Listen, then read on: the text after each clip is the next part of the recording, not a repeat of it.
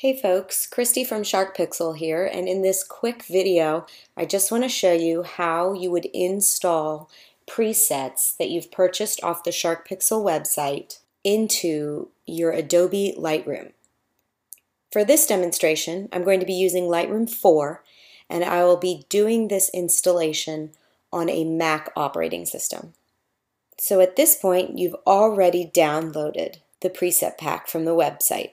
So let me start off by saying thank you for your purchase. I'm going to go ahead and quit my Lightroom,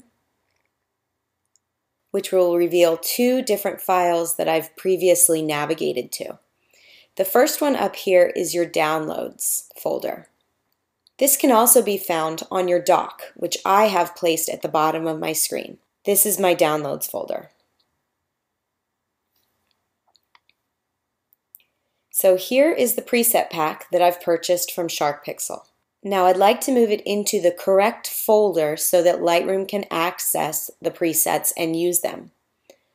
To do this, we'll simply double click the compressed SharkPixel preset pack, which will create an uncompressed version of that folder.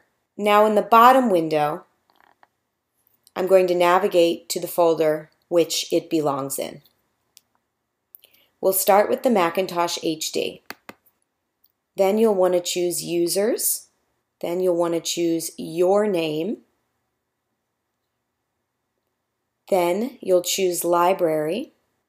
And just a quick tip, if Library is not visible in your menu, choose the Go menu at the top of your screen and then hold down the Option key and your library will appear.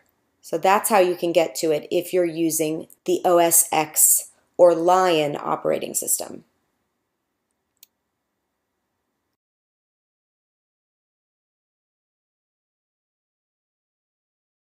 So I'll continue on. Library, click on Application Support, then click on Adobe, then you're going to want to scroll down to Lightroom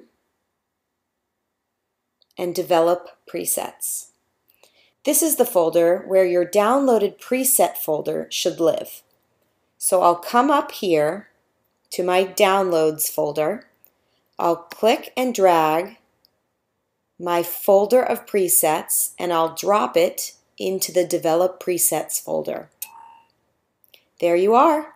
Now if I come down here and I open Lightroom 4 again, I'll take this image into the Develop module.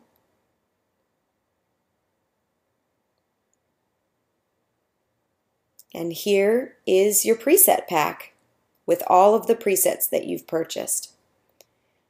I hope this was informative and I hope you purchase again. Come back and see us soon. Thanks so much.